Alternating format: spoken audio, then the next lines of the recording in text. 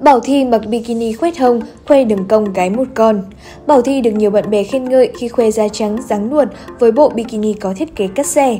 Ca sĩ Bảo Thi nhiều lần khoe vóc dáng quyến rũ sau sinh con với bộ bikini có thiết kế khoét hông táo bạo. Trang phục OF vòng 1 tạo điểm nhấn với khoảng hở ở hông giúp bà mẹ một con tôn đường cong S-line. Sau sinh con đối lòng, Bảo Thi đã lấy lại vóc dáng thời gian rỗi, thậm chí còn nhẹ cân hơn trước. Từ khi con cứng cắp hơn, cô tích cực đi nghỉ dưỡng trong que body cùng bikini. Trước đó, nữ ca sĩ cũng gây chú ý khi mặc set đồ biển của Chanel.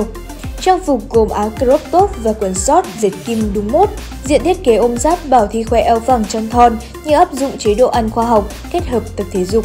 Đeo cô xét sau khi sinh, nữ ca sĩ nhanh chóng về dáng. Bảo Thi có nhiều bộ áo tắm quyến rũ đến từ các thương hiệu cao cấp để làm nổi bật thân hình. Với body suit màu da khoét hồng cao, Bảo Thi tạo cảm giác mặc như không, khoe vòng ba nảy nở. Thiết kế các rể táo bạo giúp Bảo Thi tôn vòng eo hầu như không có dấu hiệu sinh nở. Phu nhân hào môn dành nhiều thời gian mỗi năm cho những kỳ nghỉ ở biển, cô đầu tư trang phục quyến rũ, ít trùng lập trong những bức hình.